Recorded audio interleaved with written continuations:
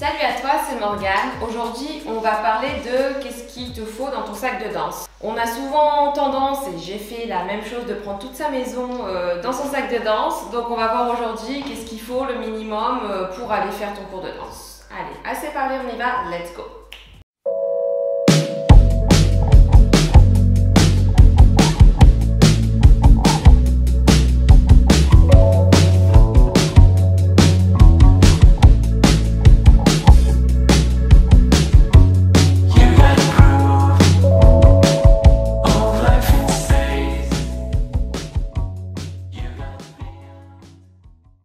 Donc en premier, il te faut bien sûr un juste corps. Moi j'ai toujours aimé les jolis justes corps, j'ai toujours été, on va dire, un peu coquette sur ça. Euh, enfin, je me sens mieux quand j'ai un joli juste corps.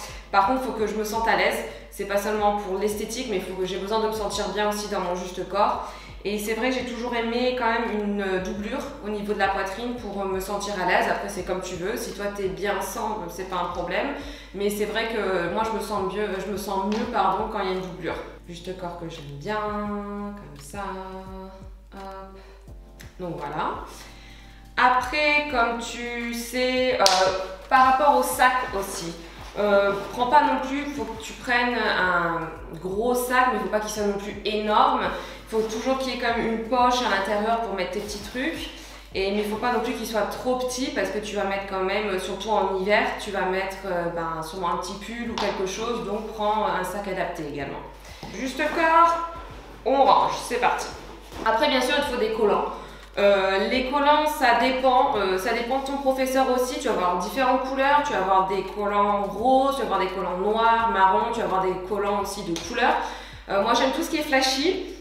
Je suis très flashy, mais par contre, c'est vrai qu'à l'école de danse, je devais mettre des collants de couleur claire, de, enfin rose. Ça, c'était obligatoire. Et c'est toujours mieux dans l'apprentissage de la danse de prendre des collants clairs pourquoi? Euh, Parce que c'est pour le professeur.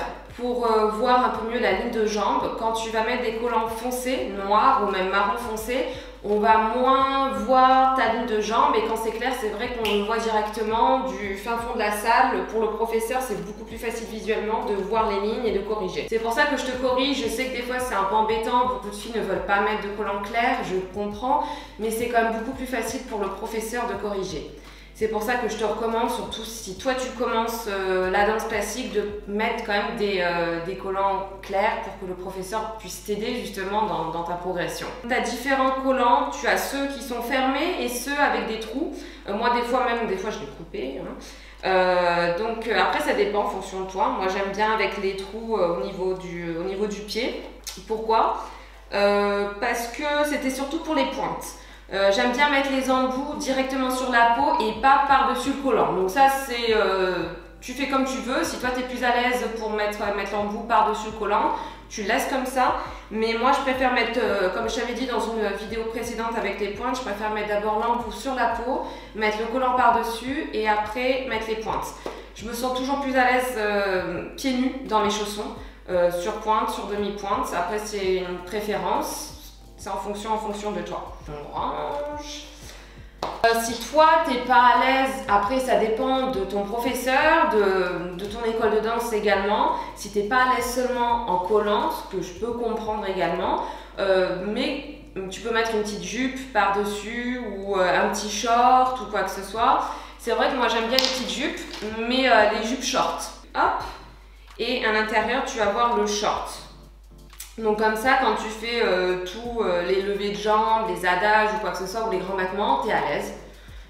T'es bien, t'es tranquille, t'as ton petit short et la petite jupe par-dessus. Mais après, c'est comme tu veux. Si toi, t'es à l'aise euh, comme ça en collant, reste comme ça. Des fois, je me mettais seulement en collant c'est comme tu veux, mais je sais que des fois, de temps en temps, je sais que j'étais plus à l'aise avec un petit short, euh, short jupe. Donc ça, c'est un exemple de jupe que je mets. Euh, t'en as d'autres, euh, as d'autres également qui sont sans short. c'est comme tu veux. Faut pas non plus que ce soit trop long et épais parce que sinon ben, pour le professeur non plus on va pas voir c'est pour ça que des fois les professeurs disent aussi s'il vous plaît enlevez les shorts ou enlevez les jupes après je peux comprendre je me sens plus à l'aise comme je t'ai dit en jupe mais il faut pas que ce soit non plus trop long et trop épais si c'est une jupe longue, je te recommande avec euh, quelque chose d'assez fin, d'assez léger, d'assez transparent pour, que, ben, aider ton professeur, pour, euh, pour te corriger parce que si c'est trop épais, on va rien voir. Donc ça, c'était pour euh, la jupe. Pour ce qui est de chauffe également, euh, comme tu peux voir, je mets souvent euh, des pantalons assez larges et c'est vrai que je me mettais quand il fait froid, surtout en hiver, mais quelque chose. Ne commence pas ton cours de danse comme ça, en juste corps ou en collant, c'est pas bon pour les muscles, tes muscles sont encore froids, donc il faut bien les laisser au chaud, donc tu peux mettre quelque chose d'assez large avant de commencer ton cours de danse. Euh, après, quand on démarre le cours de danse, souvent, euh, je sais qu'il faut enlever tout ce qui est ample. Donc, ce que je faisais, c'est que je mettais euh, des guêtres comme ça. J'ai la chance, c'est ma grand-mère qui me faisait mes guêtres. Donc, tu vas avoir des guêtres assez longues pour l'hiver. Et c'est vrai que du coup, ben, c'est assez moulant et du coup, tu peux voir quand même ta ligne de jambes. Pour t'échauffer, tu peux le mettre, tu peux le garder pendant quelques exercices. Tu le mets sur tes jambes, comme ça. Et là, tu as la place, tu le trou pour mettre, pour mettre le talon. Et c'est vrai que c'est super bien parce que ça te garde bien au chaud euh, les muscles. Et en plus j'aime bien celles-ci parce qu'elles sont, elles sont grandes, euh, jusqu'ici quoi. Tu peux voir qu'elles vont euh, vraiment jusqu'en haut des jambes. Et ça c'est super bien pour, pour l'hiver, pour démarrer tes cours de danse. Ou sinon tu as ce genre là également, c'est on va dire comme des sortes de guêtres mais longs qui vont qui va jusqu'ici en fait. Parce que ce qui est important, c'est surtout de garder au chaud le bas du dos et euh, ben aussi le bas du ventre. C'est important, surtout pour les femmes. Euh, et en plus, là, il fait froid. Donc, euh, pense bien à t'échauffer et à garder ton petit ventre au chaud. Donc, celui-ci, il est pas mal, je te recommande. Ou sinon, ben, des guêtres que tu peux trouver aussi dans des magasins de danse. Ou si tu as une grand-mère, ben, tu demandes à ta grand-mère ou à ta maman. Ou si tu arrives à les faire toi-même, ben, c'est cool aussi. Donc, il y a ça. Euh, ben bien sûr, après, mets quelque chose quand même, un, gilet, quelque chose pour te couvrir. Surtout au début pour démarrer ton cours de danse quand même, euh, même pour le cou, la gorge, même tes bras, hein, pense aux jambes, mais il y a les bras également. Mais quelque chose de long pour démarrer ton cours de danse et après tu peux, tu peux l'enlever une fois que tu es chaude, hein, bien sûr. Après, moi, je suis euh, team chaussettes. J'adore les chaussettes. Si tu regardes mes vidéos, tu peux voir souvent que j'ai des grandes chaussettes. Euh, je me sens vraiment à l'aise. Après, je sais que pour certains professeurs de danse, il faut mettre tout de suite les demi-pointes. Euh, moi, j'ai toujours mis les demi-pointes tout de suite. Mais c'est vrai, quand je me suis blessée au niveau du pied, euh, je, me suis quand même cassé le pied il y a quelques années de ça, le pied gauche. Et quand j'ai recommencé les cours de danse, ben, je pouvais pas tout de suite mettre des, des demi-pointes parce que sinon ça me serrait trop et je sentais en fait la douleur au niveau de mon pied. Du coup, j'ai recommencé les cours de danse en chaussettes et ça a été un peu une révélation. Euh, c'est-à-dire que je me suis sentie beaucoup mieux.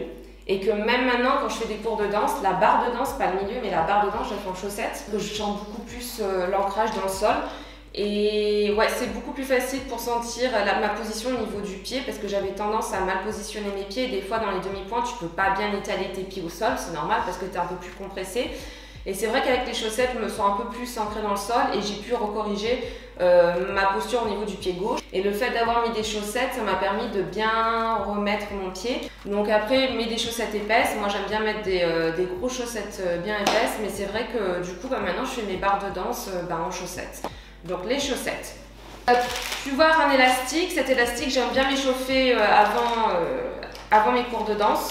C'est vrai que c'est pas mal pour s'échauffer les pieds ou même le haut du corps. Et c'est vrai qu'à chaque fois, avant mon cours de danse, hop, quelques répétitions comme ça, pour, tu peux en trouver au décathlon, il me semble. Oui, au décathlon. Il y en a qui sont plus souples, il y en a qui sont médiums, et il y en a avec une résistance un, peu plus dure. Moi, je prends, je prends médium en général. Et ça prend pas de place. Bon, bien sûr, range-le dans un petit plastique, dans quelque chose, parce que tu mets quand même tes pieds. Et après, si tu le fous comme ça dans le sac, ça va pas forcément sentir bon. Donc, je te conseille de le garder quand même dans un petit sac plastique. Pour euh, déjà, ça va te prendre moins de place. Ça va t'éviter de l'avoir dans tout dans ton sac. Et puis, euh, puis voilà. Et c'est beaucoup plus hygiénique également. dans le petit sac. Euh, une petite balle de massage, c'est vrai que j'aime bien à cause de mon pied parce que là en hiver je sens avec le, froid j'ai des petites douleurs au niveau de mon pied. Puis même si tu n'as pas de douleur, c'est toujours bien de commencer un cours de danse, tu te lèves et euh, si tu n'as pas vu ma vidéo sur le coup de pied, euh, je fais quelques exercices avec la balle pour réveiller un petit peu les muscles au niveau de la voûte plantaire et tout et c'est vrai que c'est pas mal. Même au niveau du dos, des fois j'ai des douleurs, je, m'allonge sur le dos et je place euh, la balle, bon pas sur la colonne vertébrale, attention, mais sur certaines zones au niveau musculaire et c'est vrai que ça détend avant un petit cours de danse. Donc une balle, ça ne prend pas beaucoup de place non plus, tu la cales quelque part dans, dans une petite poche sur le côté. Tout ce qui est demi-pointe et pointe, là je les ai pas sur moi parce que je suis en train de déménager. Du coup elles sont dans l'autre appartement. Mais euh, demi-pointe et pointe, en général, je les mets dans un petit sac plastique euh, parce que je veux pas que mes affaires, mes juste corps et tout, euh, on sente les pieds. Prends un petit sac plastique, prends quelque chose au moins pour... après, ne laisse pas, ne laisse pas dans ton sac plastique parce que c'est pas bon, parce que après ton cours de danse, forcément, tu as transpiré, du coup, tes chaussons sont humides. Donc, si tu les laisses dans ton sac et même dans le plastique, ben, c'est pas bon. Donc, range une fois que tu as fini ton cours de danse, tu mets tes chaussons à l'intérieur si tu dois partir vite, que tu n'as pas le temps de les laisser sécher un petit peu. Tu les mets dans un sac plastique, hop hop hop, tu les mets dans ton sac de danse, tu arrives chez toi, tu sors ton sac plastique et tu enlèves tes chaussons du sac plastique. Ne les laisse pas à l'intérieur parce que ça va puer, ça va sentir mauvais et c'est pas hygiénique et ils vont rester humides et après tu vas les user. Comme je t'avais dit dans les pointes, euh, les pointes, si tu veux les conserver un peu plus longtemps, il faut qu'elles soient, euh, faut les sécher. Et avec l'humidité, euh, du coup avec la transpiration, si tu laisses tout à l'intérieur, bah, ça va les ramollir beaucoup plus rapidement. Donc enlève tes pointes, enlève tes embouts aussi, les laisse pas dans tes paires de pointes. Tu les enlèves, tu les mets sur le côté et puis voilà. Et après, quand tu vas dans ton cours de danse, pour ton cours de danse, tu les remets dans ton sac plastique, dans ton sac ça va prendre moins de place dans ton sac, ça, va éviter d'avoir du pougnaf, du foutoir dans ton sac et ça être beaucoup plus hygiénique également dans ton sac de danse. Euh, pour tout ce qui est coiffure, euh, petite brosse, euh, je sais ça c'est la brosse de ma fille, je me suis fait compter par ma fille. Désolée Lilouche. prends une petite brosse, prends pas une grosse brosse, prends une petite brosse si toi t'as pas le temps de te coiffer chez toi, que tu speed, que tu as fini ton travail, que tu as fini l'école, peu importe, prends une petite brosse, ça prend pas de place. Et des petites pinces. Prends une petite boîte pour ranger tes pinces parce que sinon les pinces, elles vont être partout dans ton sac prends une petite, une petite boîte comme ça pour ranger tes petites pinces, brosse, hop, comme ça. En général, moi, j'aime pas trop mettre de la laque. Je préfère fixer avec des petites pinces ou bandeaux, quoi que ce soit. Si tu me vois, j'ai toujours un chouchou ici. Parce que des fois, j'oublie mes chouchous, j'oubliais mes chouchous dans mes sacs. Du coup, moi, je savais que j'avais un chouchou avec moi et que je pouvais toujours faire quelque chose. Donc, prends seulement une petite brosse, quelques pinces comme ça, mets un chouchou ici et c'est bon, t'es parti pour ton cours de danse. Décalé, si tu as des poches dans ton sac de danse, moi, je sais que j'ai des poches, donc je les mets sur le, sur le côté. Donc, Mets toujours un petit encas. cas si tu as un petit creux, que tu n'as pas le temps euh, ben, de t'acheter quelque chose, prends toujours une banane, une petite barre de. Une petite barre, enfin moi j'aime une petite barre protéinée pour ce soir. Vraiment fatigué, vaut mieux toujours avoir un petit encas avec toi. Tu mets pareil sur une poche en côté si t'as, ou sur une poche de devant. Là j'ai un verre d'eau, mais bien sûr n'oublie pas ta bouteille d'eau. Toujours important de boire pendant ton cours de danse. C'est vrai qu'on a tendance à oublier, mais euh, je sais que même nous, à l'école de danse, c'était même obligatoire d'amener sa bouteille d'eau. Euh, la prof de danse, je sais que j'avais une de mes profs de danse qui pratiquement nous acceptait pas si on n'avait pas notre bouteille d'eau. Elle nous disait avant le cours de danse, va chercher ta bouteille d'eau. Et ça, c'était, je suis totalement d'accord, c'est super bien de le faire parce qu'après on prend l'habitude de ne pas boire et c'est pas bon, il faut, quand même boire. Alors ça ne veut pas dire qu'il faut boire à chaque exercice, mais il faut quand même boire pendant le cours de danse. Ça va, ça va aider, c'est pas bon pour les muscles de ne ben, pas boire. Donc, de l'eau. Moi j'ai fait l'erreur de prendre 10 000 trucs dans mon sac de danse avant, de prendre 10 000 t-shirts, 10 000 pantalons, euh, plein, de, plein de juste corps, etc. T'as pas besoin de grand chose, veux voir. Enfin, là mon sac il est assez léger et c'est vrai qu'avant quand j'étais euh, plus jeune, j'allais euh, pour les, pour les cours de danse, mon sac pesait 3 tonnes.